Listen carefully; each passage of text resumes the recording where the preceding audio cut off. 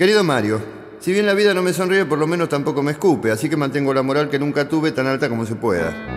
Además, esta mala época me vino bien para ordenar un poco mi vida, ¿sabes? Te cuento, ahora los perros comen lunes, miércoles y viernes, yo como martes, jueves y sábado, y los domingos no come nadie, y nos preparamos para encarar la nueva semana con optimismo y hambre. Por suerte hay buenos amigos que siempre me tienen en cuenta, ¿sabes?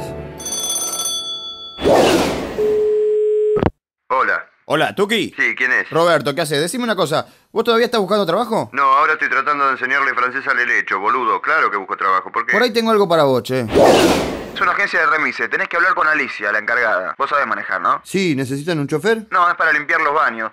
Pero sabiendo manejar, después podés progresar. Un día alguien se enferma, matan a uno en un asalto, ¿viste? ¿Qué sé yo? Tenés razón, mientras se pueda progresar. ¿Dónde es? Menos mal que no tuve que caminar hasta el tigre como la semana pasada.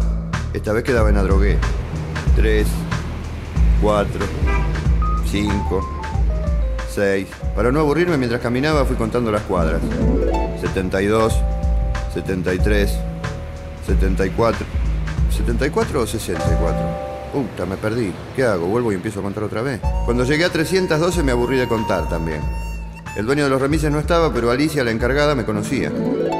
Tuki, vos sos Tuki, ¿no? Sí, pero no veo el motivo de tu alegría. Ah, es que siempre te quise conocer desde hace años. Me haces reír tanto, Tuki. Bueno, muchas gracias. ¿Estás drogado, Tuki? ¿Eh? Digo, como borracho no estás y me contaron que vos cuando no estás borracho estás drogado. Espero que me estés haciendo una joda. ¿Vos te crees todo lo que dicen? Si lo dicen, por algo será. Ah, y hablando de lo que dicen, decime, Tuki, ese Pergolini, ¿qué tal es? No sé, yo siempre digo que a Mario hay que conocerlo mucho para quererlo un poco, pero tendría que conocerlo vos y formarte tu propia opinión. ¿Qué sé yo? No me gusta hablar de la gente que no está. Ah, así que es medio garca. No, no, no, yo no dije que fuera garca. Tampoco dijiste que fuera bueno. Che, ¿vieron? Yo tenía razón. Pergolini es un cagador, me dice acá Tuki.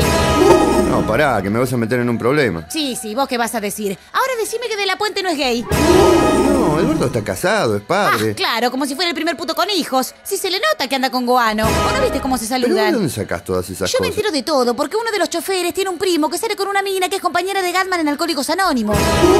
No, vos estás loca. Marcelo en Alcohólicos Anónimos. Marcelo es el tipo más sano que conozco. Aparte yo vine por otro tema, estoy buscando trabajo. ¡No tenés trabajo! Vos parece mentira, che, un tipo con talento. ¿Y ahora qué haces? Nada, ya te dije, busco trabajo, estoy Pero arruinado. Tuki, ¿cómo puede ser? ¿Tenés hambre? ¿Querés comer algo? Y bueno, una hamburguesa. Te digo de corazón, Tuki, ¿eh? yo sé que no nos conocemos, pero contá conmigo para lo que necesites. Cualquier mano que te pueda dar, cualquier ayuda. Mira, casualmente yo venía de parte de Roberto. Me dijo que acá necesitaban gente.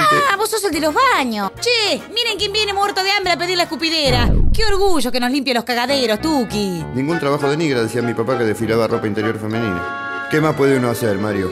Como dice la Biblia en Job 10:20, ¿no son bien poca cosa los días de mi existencia? Che, ese pasaje me hizo pensar, ¿la Biblia lo habrá escrito Mauro Viale? Y encima no sé de dónde la gente saca esas ideas raras. Pero ojo, Tuki, ¿eh? no te pongas a vender merca que me pudrís el negocio. No, querida, yo no me dedico a eso. Si vendiera falopa estaría lleno de guito, sería senador o las dos cosas.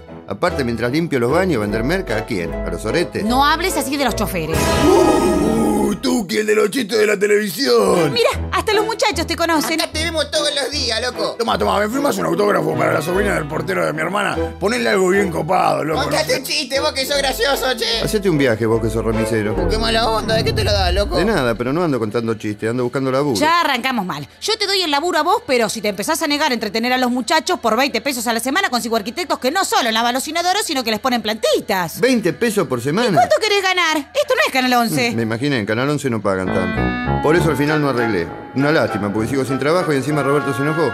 No solo porque la agencia de remises es de él. Dice que soy un pretencioso, que a ver cuándo le pago lo que le debo, que él quiere abrir otra agencia. Bueno, así están las cosas. Si la próxima vez que vaya a cuatro cabezas me dejan entrar, te cuento personalmente todo lo que va pasando y listo. Tuyo del culo para adelante, Tuki.